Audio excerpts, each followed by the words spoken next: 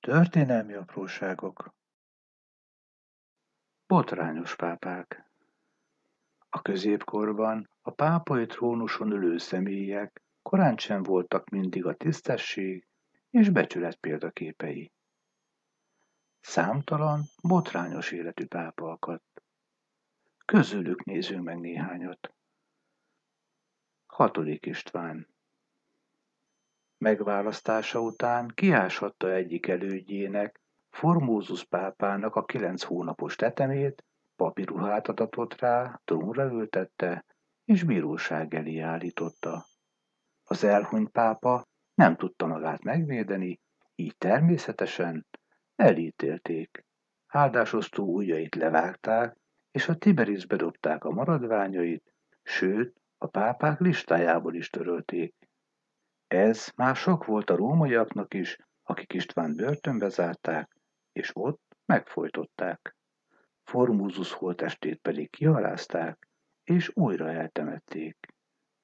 Harmadik Szergius Bár Formúzus pápa szentelte presbiterré, ellene fordult, és amikor hatalomra került, ő is kiásatta Formúzus holtestét, és a pápai zsinat elé állította, ahol újra elítélték, és most le is fejezték a tetemet. Egyes krónikák szerint megfojtatta két elődjét, ötödik Leót és Kristófot is.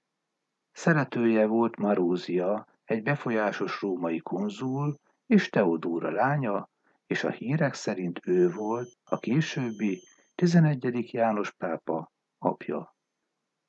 12. János Octavianus néven született második Alberik spoletói herceg törvénytelen fiaként. 955-ben választotta pápává a sinat, a hercegnek tett ígéretnek megfelelően. Az új pápát nem érdekelte a lelki tisztaság és a szegénység, valóságos bordiházzá változtatta a lateránt.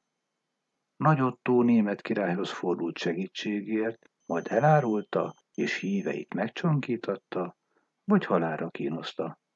Otto Rómába vonult rendet tenni, de addigra János már elhunyt. Egy krónika szerint az egyik férj házasságtörésen kapta, és kidobta az ablakon.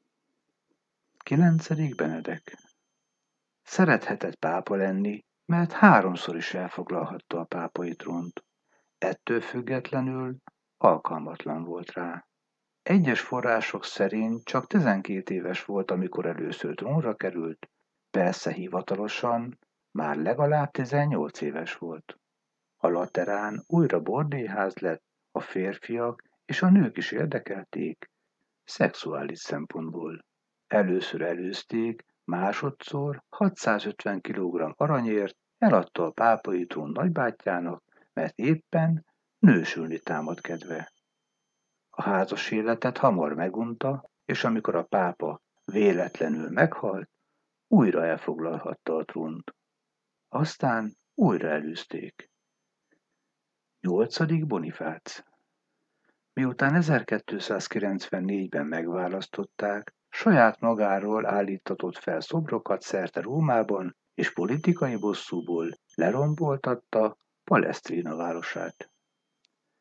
Népszerűségét jól mutatja, hogy Dante Isteni színjáték című drámájában a pokol legmélyebb bugyraiban bukkant fel. Betegesen félt a haláltól, így hét udvari orvosa volt, és különböző életelikszireket is szedett. A plegykák szerint fiúkkal is hált. Negyedik Sixtus Amikor pápává választották, már hat törvénytelen gyermeke volt, közöttük egy saját lánytestvérétől.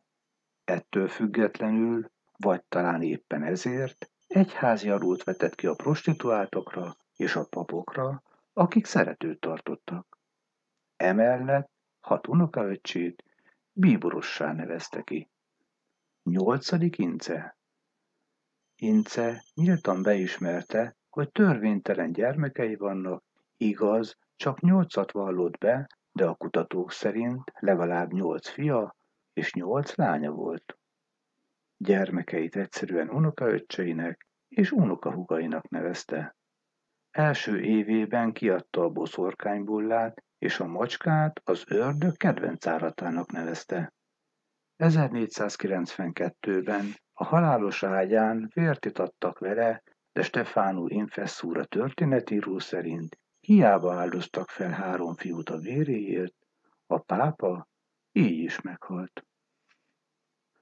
Hatodik Sándor Incét követve került a pápai trónra az egyik leghírhettebb pápa. Számtalan gyermeket nemzett, és számtalan orgiát tartott. A leghíresebb talán a gesztenyék lakomája volt, ahol ötven kurtizán is megjelent. Előbb ruhában táncoltak, majd teljesen mezítelenül. A tánc után gyertyatartókat helyeztek a földre, ahol gesztenyéket szórtak szét, és ott vonalgottak a pápa és gyermekei szemelátára. Ha újabb videókat szeretnél, kérem iratkozz föl,